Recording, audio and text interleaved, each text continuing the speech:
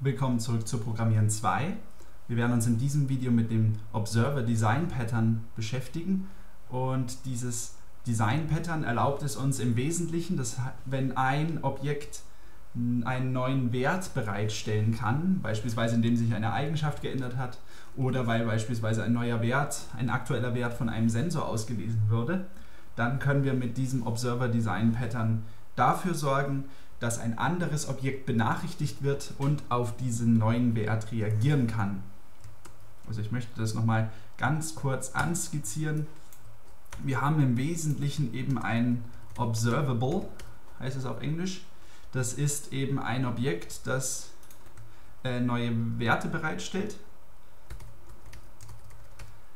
Oder ähm, eben auch einen geänderten Wert.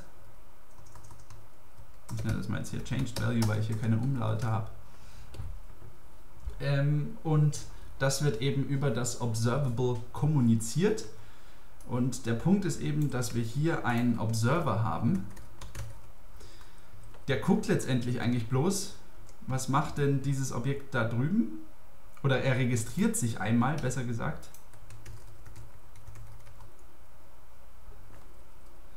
Und jedes Mal, wenn eben das hier eintritt, dass sich entweder ein bestehender Wert ändert oder vielleicht ein neuer Wert beim Observable kommt, ähm, ruft jetzt das Observable den Observer auf und sagt eben über dieses Notify, dass äh, der Observer jetzt hier in seiner eigenen Implementierung auf diese Wertänderung ähm, reagieren kann. Und der Punkt ist eben auch, es muss nicht sein, dass wir eben bloß einen Observer haben, sondern es kann durchaus auch sein, dass an einem Observable mehrere Observer hängen. Ich mache das hier einfach mal mit Server 2. Dann werden eben hier dieser ebenfalls registriert und andersrum wird hier natürlich auch Notify vom Observable aufgerufen, damit wir hier eben äh, sozusagen bei einer Wertänderung nicht bloß einen Observer benachrichtigen, sondern beliebig viele eigentlich. Alle, die sich eben auf diesen Observable registriert haben. Soweit zur Struktur. In UML sieht das Ganze eben so aus. Ähm, wir nutzen da natürlich wiederum Abstraktionen, damit wir die konkreten Implementierungen flexibel austauschen können. Im Prinzip gibt es hier aber genau äh, drei Sachen. Wir haben hier Register, damit können wir eben sagen, dass ein Observer hinzugefügt werden soll. Wir haben hier Notify und wir haben hier die Register, mit der eben äh, sich ein Observer bei einem Observable wieder abmelden kann. Und das schauen wir uns jetzt einfach mal in der Implementierung an. Ich habe hier wieder ein neues Projekt einfach für dieses Pattern erstellt. Und ich fange einfach mal an, dass ich hier den Observable implementiere. Observable. So. Ja, was hat der für äh, Methoden? Wir haben gesehen, wir haben eben eine Register-Methode, bei der wir eben einen iObserver bekommen. Das wollten wir nicht. Observer. Und wir haben natürlich eine Deregister-Methode, wo sich eben ein iObserver wiederum abmelden kann. Nicht observable. Observer ist wichtig dass wir hier die Unterscheidung machen. Und ähm, das Wichtige ist eben noch, dass dieser Observable letztendlich dann hier die Möglichkeit hat, Notify auf diesem Observer aufzurufen. Diese Funktion nehme ich hier jetzt erstmal nicht drauf. Wichtig ist einfach, dass ein Observer sich auf ein Observable registrieren kann. Ja, dann bauen wir eben noch schnell das Interface für den Observer ebenfalls. Hier haben wir eben dann eben diese Update-Methode, die ich gesagt habe. Hier wird eben dann eigentlich ein bestimmter Wert mit übergeben. Das heißt, ich werde das hier mal generisch machen, damit wir hier eben ein, eine Nachricht letztendlich übergeben können. Oder Payload wird es häufig auch genannt oder einfach bloß Item. was hier mit übergeben werden kann. Wir können das Ganze sogar kontravariant machen. Und ähm, hier muss ich dann natürlich auch diese Sachen generisch machen, damit wir hier diese Punkte bekommen. Gut. Ähm, wir haben jetzt eben die entsprechenden Interfaces dazu gebaut. Äh, was wir hier jetzt machen werden, ist, ich werde hier einfach mal einen Random Value Provider erstellen. Vielleicht mit Class davor. Und der wird eben genutzt als Observable. Und der soll eigentlich Int-Werte erstellen. Und was diese Methode jetzt eben noch hat, ist äh, eine Start- und Stop-Methode.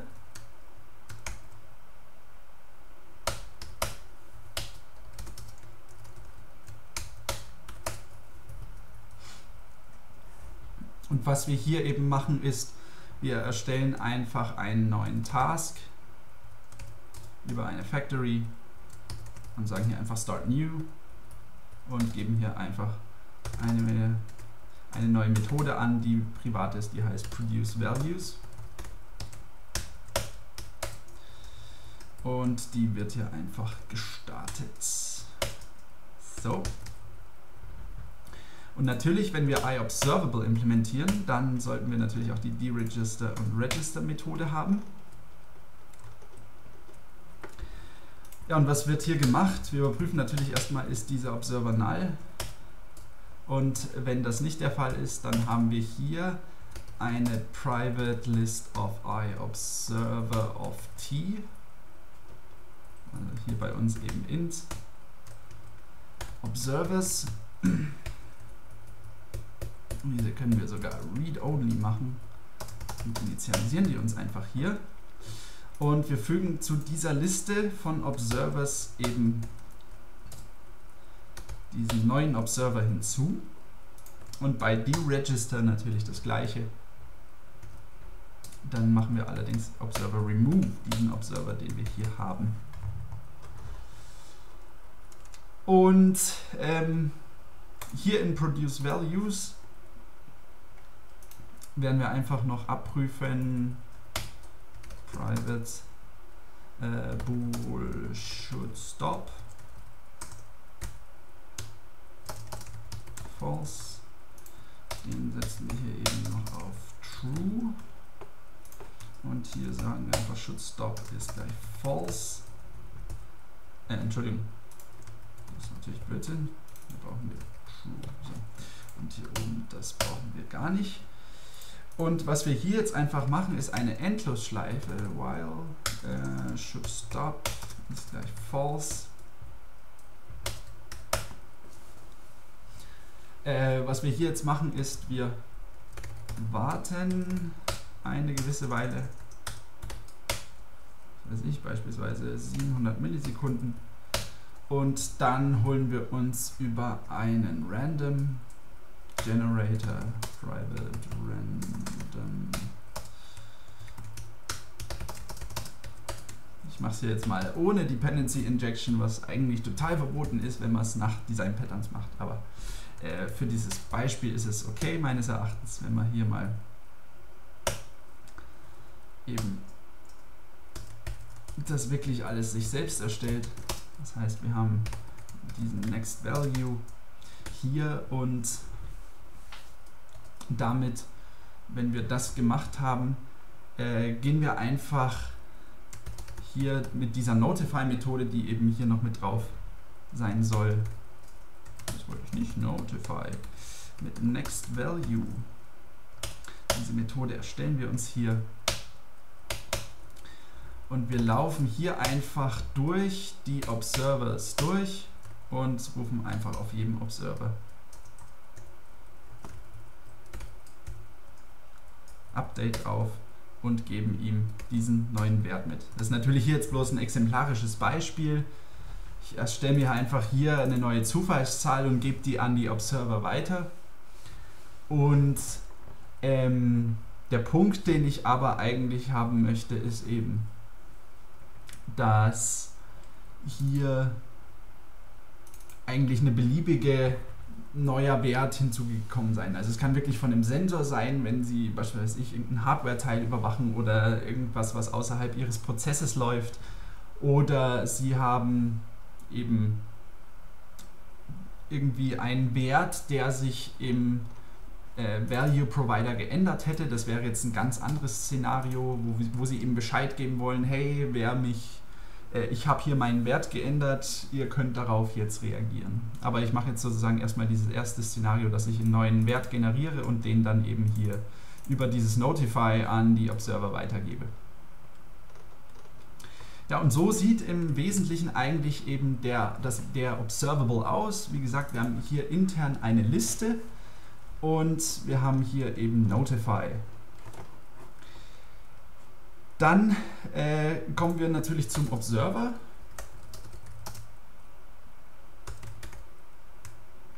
Den nennen wir dann doch einfach mal auch Random Value Observer. Und wir implementieren hier eben iObserver of int. So.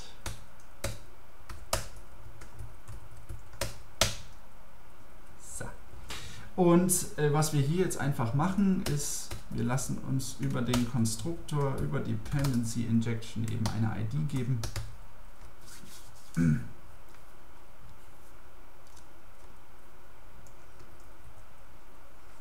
Die halten wir uns hier fest und sagen hier einfach bloß mal zu Debug-Zwecken console writeLine mit eben, wie wäre es denn mit Observer äh, neuer Wert. Na wohl, das brauchen wir eigentlich auch nicht. Halten das kurz und knapp. Wir geben hier eben die ID von uns an und den neuen Wert.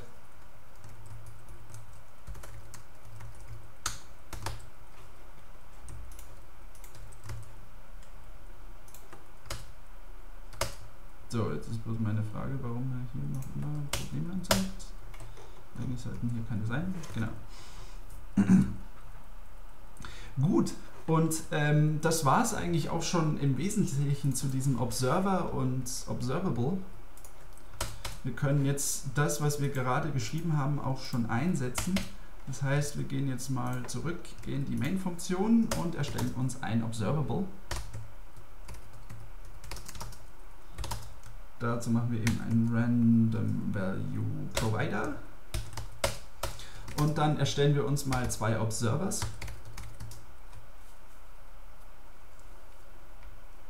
Observer 1, New Observer. Und dem geben wir die ID 1. Und Observer 2 ist eben New Random Value Observer mit ID 2. Beide registrieren wir gegen das Observable.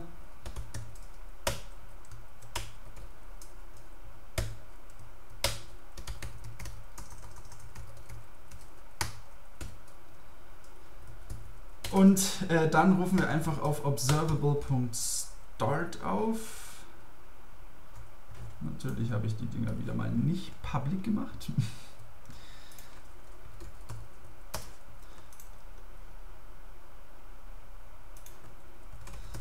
eigentlichen Methoden, die ich noch haben möchte. Und wir haben jetzt nichts anderes hier als ähm, observable.start und dann warten wir auf eine Eingabe des Nutzers. Und dann werden wir mal vom Observable mal den ersten deregistrieren, Observer 1 wieder wegnehmen warten dann noch eine Weile. Und dann rufen wir eben observable.stop auf.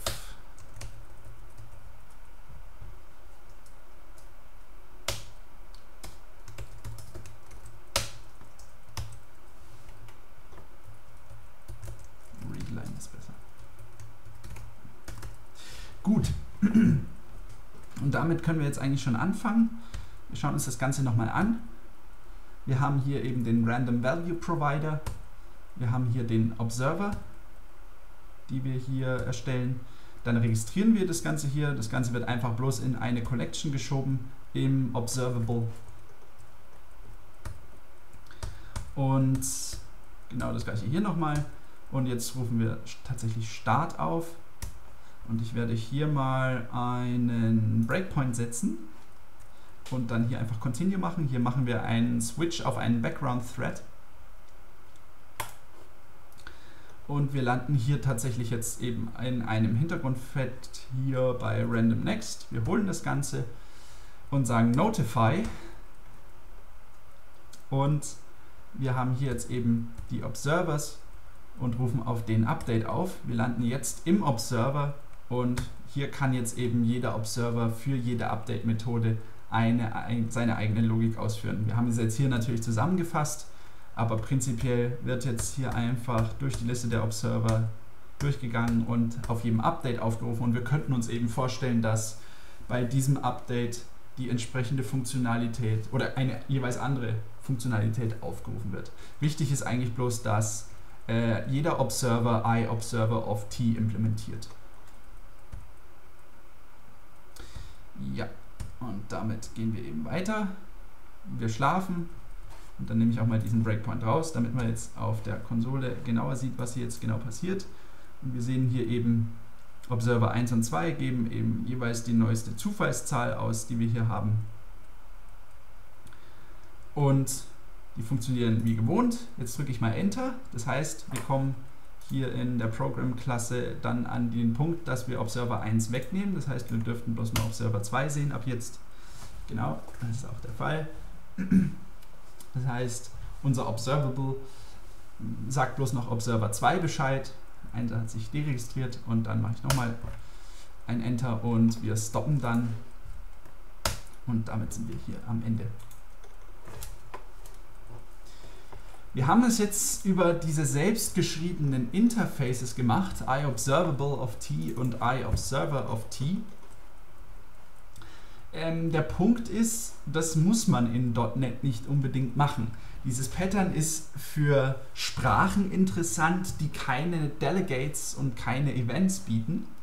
Prinzipiell werde ich jetzt aber mal diese Sache so umschreiben, dass wir keine Interfaces brauchen, und stattdessen eben diesen Wert hier direkt über Events in .NET weitergeben. Also ich habe hier den Random Value Provider, der braucht auch keine Register-Methode mehr, wir brauchen auch keine Deregister, hier unten haben wir sie, Methode mehr. Und wir brauchen auch keine Liste von Observers dann natürlich. Sondern was wir bei Notify machen, ist, wir lösen ein Event aus. Ich mache hier ein Event, der in unserem Fall natürlich eine Action auf int ist. Next value available könnte man das zum Beispiel nennen. Und in dieser Notify-Methode machen wir nichts anderes, als dass wir eben diesen Next Value Available Event auslösen.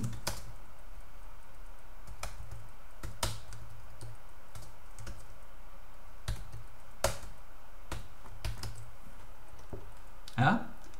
Auch das ist letztendlich nichts anderes als das besagte Observer Pattern, was wir gerade gemacht haben.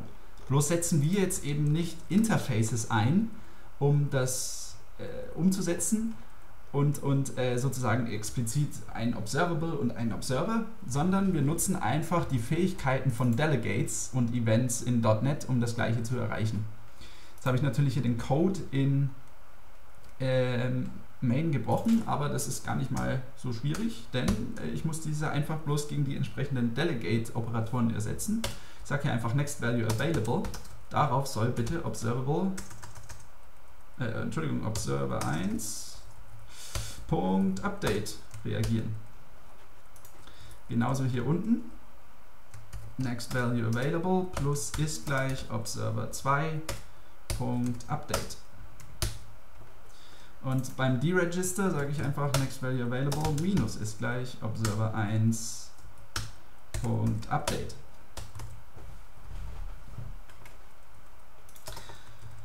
Wir sehen jetzt eben hier, wie wir ähm, über Events genau das gleiche herstellen können, wie wir es eben vorher gewohnt sind. Wir sagen eben jetzt über einen Eventbescheid, nicht über einen expliziten Methodenaufruf, der in einem Interface steht. Und letztendlich passiert aber genau das gleiche, wie wir hier sehen. Wenn ich jetzt Enter drücke, ist eben bloß noch Observer 2 dabei, der die Benachrichtigung bekommt. wenn ich nochmal Enter drücke, dann stoppt das Ganze eben. Also wir sehen hier, das Observer Pattern ist letztendlich nichts anderes als das Hollywood Principle oder das Inversion of Control Principle. Wir registrieren uns auf ein bestimmtes Event, auf ein Observable sozusagen und ähm, immer wenn der Obser das Observable dann bei sich im Code an eine Stelle kommt, wo er sagt, ich habe hier einen neuen Wert, dann wird eben jetzt hier ein Event ausgelöst der letztendlich ja nichts anderes ist als ein Delegate-Aufruf, der wiederum einen Methodenaufruf im Observer hier auslöst, eben dieses Update. Also genauso wie wir es eben vom Button her kennen, auch das ist eigentlich ein, das Observer-Pattern angewandt. Das Observer-Pattern ist äh, insofern sehr wichtig, als dass es für viele UI-Patterns interessant ist, nämlich genau dann, wenn ich eben ein Datenobjekt habe, das eben, was weiß ich, nehmen wir mal an, das ist eine Person, die hat einen Namen und ähm, der Name wurde jetzt eben über gewisse Art und Weise geändert. Das heißt, wenn ich hier dann eine Textbox habe und diese hat ja eine Texteigenschaft, dann kann ich jetzt eben über das Observer-Pattern sagen, Entschuldigung, falsche Pfeilrichtung mal wieder, ich kann hier jetzt eben sagen, hey, im Datenobjekt hat sich der Name geändert, bitte mach mal ein Update auf den Text deiner Textbox oder deines Textblocks. Genau, alles was dahinter steckt, ist eigentlich mehr oder weniger das Observer-Pattern und das werden wir auch im nächsten Video nochmals wiedersehen, wenn wir uns das MVVM-Pattern für äh, XAML User Interfaces anschauen. Bis dahin sage ich aber vielen Dank fürs Zuschauen und wir sehen uns dann im nächsten Video wieder. Bis bald.